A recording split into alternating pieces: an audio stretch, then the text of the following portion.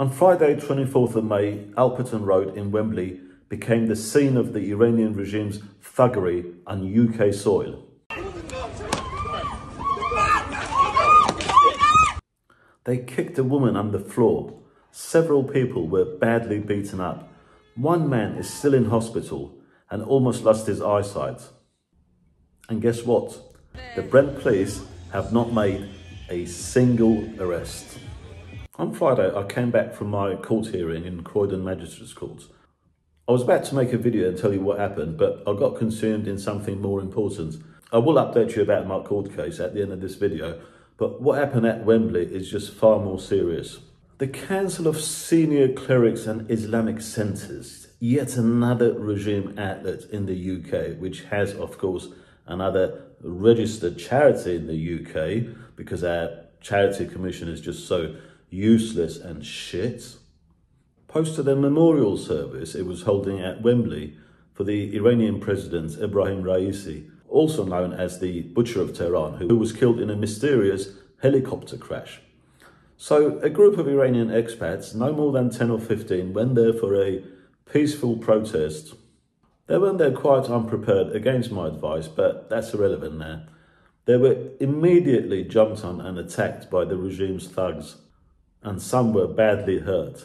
Wembley became a scene of Iranian regime thuggery on UK soil.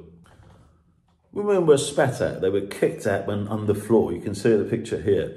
And yet, Brent police, when they turned up, did not make a single arrest, nor have they been to those in hospital to take a statement from them. All they did was issue this ridiculous statement calling it a clash between the Iran regime supporters and their opponents. A clash? It wasn't a clash. The protesters were attacked like they get attacked in Iran. But here in London, we can fuck you here. fuck you.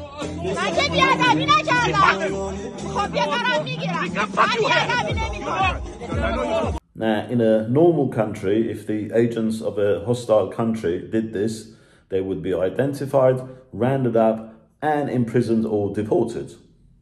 But because the UK is currently run by a woke, spineless bunch, nothing, nothing. There are bodies on the floor, and look at the police. Compare it with how 10 of them jumped on me for just pushing someone's hand away. And